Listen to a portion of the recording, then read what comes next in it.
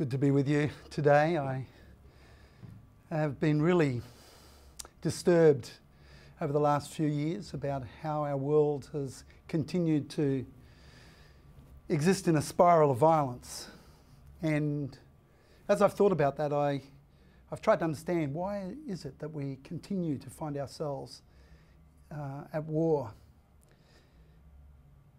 And Occam's razor would seem to suggest that the Slim, simplest answer is often correct. And I, I think it is because our default position so often is plan A. And plan A is to treat other people the way they treat us. So they attack us, we attack them. It's an eye for an eye, an ear for an ear, an arm for an arm, a leg for a leg, and it's led to ongoing violence. The 20th century was probably the most violent century in the history of humanity. More people were killed then than the whole of human history put together. In the 21st century, we see the spiral of violence roll on. And I think uh, it's time to stop that spiral of violence. And all religions seem to suggest that the only way we can do it is by scrapping plan A and trying plan B. Plan B is to be the change we want to see in the world. And if we believe in peace, then we need to be people of peace. And all major religions teach that the only way we can do that is to treat other people not as they treat us, but as we would like to be treated. Of course, all of us know that when Jesus summarized the whole of the uh, religious tradition in the biblical narrative, he said, uh, we could summarize it by saying, it's to love God with our whole heart and mind and soul and strength, and to love our neighbour as ourselves. And I think it's time that we took Jesus seriously, that we actually scrap plan A and stop treating people the way they treat us, and started to treat people the way we would like to be treated. To not return evil for evil, but to return good for evil, like Christ did. Now, I think uh, the only way that we can do this is if we actually go back to the Sermon on the Mount and rediscover the ethic of Jesus in the Beatitudes. In the Beatitudes, Jesus says, What I want you to do, if you want to be part of my blessed revolution and bring heaven on earth, is to identify with the poor in spirit to enter into their pain empathically, to get angry but never get aggressive, channel the rage creatively and constructively in seeking for justice. Let your justice be freighted with mercy so that you extend the same mercy to others as you, you would want yourself. Always act with integrity, even when there's no publicity, and work for peace in the midst of war. Suffer violence, but never inflict violence another, but perse uh, persevere through the persecution.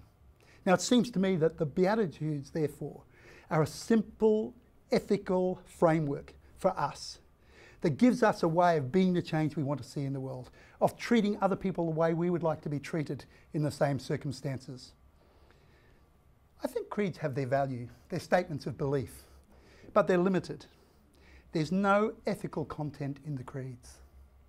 I would like to see churches begin to read the Beatitudes every week.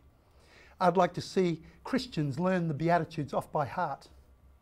I'd like to see, in fact, reconstructing church as a recovery movement where all of us get together and say, we are addicted to the dominant values of our society, to wealth and power and status and violence, but we want to be the change and we want to learn the Beatitudes off by heart. And we want to find ways of supporting each other to help each other be the change we want to see in the world. I'd love to see the church stop preaching and start practicing what it's been preaching. My dad was a pastor who loved preaching, and he came to me one day and he said, Son, what do you think I should preach on next? He was so excited about the possibility of something else to preach on. And I said, Dad, you know what? I think it'd be better if you stopped preaching altogether. Wouldn't it be great? Wouldn't it be great if our churches had a moratorium on acquiring more knowledge and just practice what we know already? What if we all took the Beatitudes and just picked a Beatitude and tried to work on it? I believe the revolution of Jesus is not quoting scriptures, but incarnating scriptures. What if we did all identify with the poor in spirit? What if we did all enter into their pain empathically and weep with those that weep? What if we all got angry about the injustice in the world but not got aggressive? What if we channeled our rage creatively into struggling for justice, a justice that treats other people with the same kind of mercy as we want? What if we all acted with integrity when there was no publicity at all? And that we worked for um, peace in the midst of war and did so even when we were persecuted for it. This is the revolution of Jesus. This is what it means to be Christ like. In my country, there's a book uh, chain called Koorong, and they say that the most stolen um, item from uh, Koorong is the What Would Jesus Do bands. Now, I think there's a nice little irony about that. But I think all of us tend to project onto Jesus what we would like him to do. Uh, the challenge is, is to be confronted with who Jesus really is. And I think in the Beatitudes we have a framework of what it really means to be Christ like. And I think the call for all of us Christians is to take that framework and to stare at it, to consider it, to let it settle within us, and to take that as a framework for the way we engage our world. I'd like to see all of us begin to pray our alternative uh, of the serenity prayer. In AA groups for people addicted to drugs and alcohol, people pray, Lord, grant me the serenity uh, to accept the things I cannot change, the courage to change the things I can, and the wisdom to know the difference. Well, I'd like to see us all in B groups where we're wanting to overcome our addiction to the dominant values of our society and pray this prayer God, grant me the serenity to accept the people I cannot change, the courage to change the one I am, and the wisdom to know it's me. This is the revolution of Jesus. Not that we change others, or we try to change others, or we force other people to become like us, but for us to open ourselves to the Spirit of Jesus and be the change that Christ wants us to be in the world. Thank you very much.